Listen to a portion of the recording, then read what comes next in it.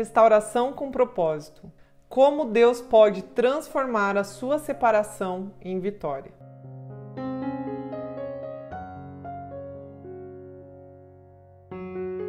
Eu sou Erika Rolim, psicoterapeuta e especialista em recuperação de casamentos. Eu trabalho com relacionamentos em geral, também atendo pessoas que ou só moravam juntos, ou eram namorados ou noivos, mas a minha especialidade mesmo é casamentos. E eu quero te falar que esse deserto aqui, ele não veio somente para te causar dor. Em primeiro lugar, se você entender que você trabalhando a tua fé e você se aproximando de Deus em meio a esse deserto é o principal benefício que esse deserto trouxe para você, aí você tá num caminho de restauração pessoal para depois você ter o seu relacionamento restaurado.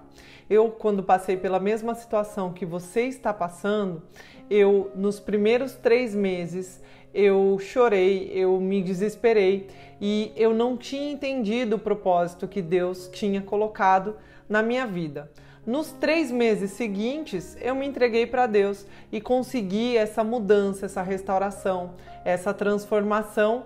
E nos últimos três meses, porque o meu primeiro deserto levaram nove meses total, então foi de três em três, nos últimos três meses eu descansei em Deus e eu aceitei esse deserto no sentido de que eu, sabendo que Deus tinha o melhor para mim, por que, que eu estaria preocupada? Então eu investi na minha melhor versão, eu investi na minha transformação e fui me entregando não só para Deus, como entregando tudo nas mãos dele. A minha família, o meu trabalho, o meu casamento, tudo que eu tinha e que eu desejava, eu colocava nas mãos do Senhor. Comecei a orar no sentido de que Deus faça a tua vontade e não a minha. E assim, o deserto ele acabou passando até mais rapidamente, porque eu entendi que sendo feito da forma de Deus seria muito mais tranquilo, menos doloroso e até muito mais rápido. Então, você aliando a fé com o seu descansar em Deus nesse deserto, você está rumo à sua vitória. Número 2. Durante esse deserto, você tem que trabalhar o perdão dentro do seu coração. E o perdão não quer dizer que você concorde com o que o outro fez, mas sim que você decide perdoar diariamente. O perdão, ele não é um sentimento, tá? Ele é uma decisão. Porque até mesmo como é colocado o amor, as pessoas acham que o amor é sentimento. O sentimento é aquele friozinho na barriga, aquelas borboletinhas, aquela coisa que você sente quando você está apaixonado. E tem pessoas que passam apaixonadas pela outra, pelo cônjuge, o resto da vida. Porém, o amor ele é uma decisão, assim como o perdão. E é do perdão que a gente está falando aqui agora. Você precisa decidir perdoar para não jogar mais dentro de você qualquer veneno do que o que a outra pessoa fez tenha te machucado.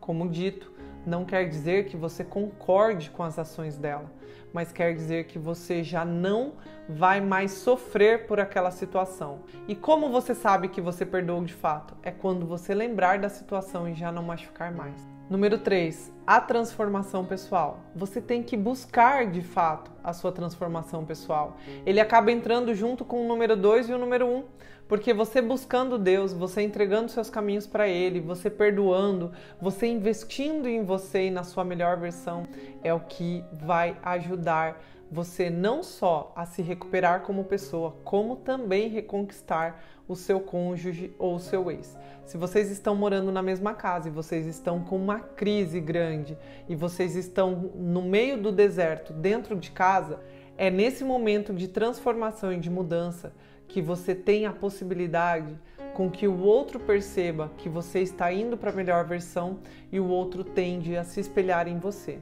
Os casais, eles brigam muito e chegam até a separação por conta dos dois irem se armando, os dois vão brigando, vão se estressando cada vez mais, e aí um tem uma atitude negativa, o outro também. Aí o outro tem porque aquele um teve, e nisso vai um espiral negativo. Por isso você tem que buscar esse investimento na sua melhor versão, para ir aplicando não só com seu cônjuge, como as pessoas ao seu redor, para que tudo vire um espiral positivo dentro da sua vida. E para aqueles que estão separados de casa, você investir na sua melhor versão é uma excelente opção, porque quando você puder encontrar a outra pessoa e pode ter certeza de que Deus vai fazer e vai agir para que isso aconteça, especialmente se você entregar nas mãos dele, aí o outro vai te ver numa versão melhorada, numa versão 2.0. Eu, quando estava separada do meu marido, eu tive a oportunidade de investir na minha melhor versão. E quando ele me encontrou, ele me sentiu tão em paz, ele me sentiu tranquila, ele viu que eu estava bem, ele percebeu o meu sorriso. Durante o meu deserto, eu pedia para que o Espírito Santo fizesse presente em mim, transformasse a minha vida, transformasse as minhas ações, transformasse as minhas falas, para que os outros pudessem enxergar o Espírito Santo mesmo trabalhando em mim para que eu pudesse ser uma nova criatura. E assim foi feito. Então as pessoas percebiam, inclusive naquela época, o meu ex-cônjuge, que Deus restaurou o nosso casamento e hoje nós temos essa missão aqui de ajudar outros casais a se transformarem. Inclusive, nós temos um curso chamado Missão Casamento Restaurado, que está no link abaixo aqui, e você pode acessar se você precisar de ajuda para restaurar o seu relacionamento. Lá tem Lá tem todas as opções que você vai precisar, seja separados de casa, sejam na mesma casa, para você restaurar o seu casamento. Você terá ferramentas não só com aulas explicativas, mas também ferramentas práticas para você aplicar no seu dia a dia para a recuperação mais rápida do seu casamento. E aí eu quero falar do número 4 aqui. Você buscar conselhos e inspirações bíblicas ou com pessoas que sejam cristãs e que trabalham com restauração de casamento ou que trabalham com casamentos como base, que tenham a família como base. Como, por exemplo, na sua igreja, seja católica, seja evangélica, você pedir ajuda na sua igreja ou um terapeuta cristão, como é o trabalho que eu realizo, mas não precisa necessariamente ser comigo. Porém, você tem que buscar pessoas e ajuda que são em prol da família. Não busque ajuda, não vá fazer uma sessão de terapia com um psicólogo qualquer, com alguém que não tenha os mesmos princípios e valores do que você busca hoje de restauração, que é a sua família. E a Bíblia, ela tem muitas coisas poderosas que podem te ajudar com isso. Se você não tem possibilidade financeira de pagar uma terapia, pode ir para as Escrituras, que eu tenho certeza que Deus vai falar grandemente, poderosamente com você e vai te dar o direcionamento necessário.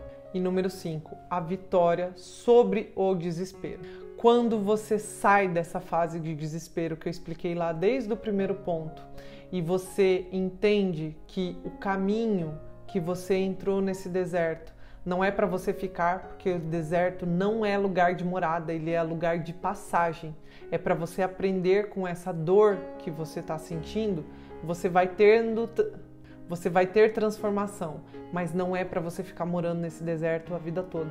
E aí, quando você tem fé, quando você tem esperança e que você vê que o casamento da Érica foi restaurado, os casamentos de diversas pessoas com quem eu trabalho já foram restaurados, que inclusive você pode me seguir nas redes sociais e lá no Insta você pode ver nos destaques depoimentos vários depoimentos de casamentos que já foram restaurados, você se enche de fé e você percebe que, mesmo em situações ruins e situações complicadas, onde aos olhos humanos era impossível ter uma restauração de casamento, Deus age. Então se encha dessa fé para você saber que é possível e para você conseguir tomar um pouquinho de fôlego, um pouquinho de água em meio a esse deserto para você poder continuar. Como já disse, tem as minhas redes sociais, eu já te convido a me seguir lá, porque lá eu posto dicas diárias para a sua restauração e já te convido a se inscrever aqui no canal. Se você precisar da minha ajuda como terapeuta ou até mesmo dos meus cursos, clique nos links aqui abaixo. Um beijão e te vejo no próximo vídeo.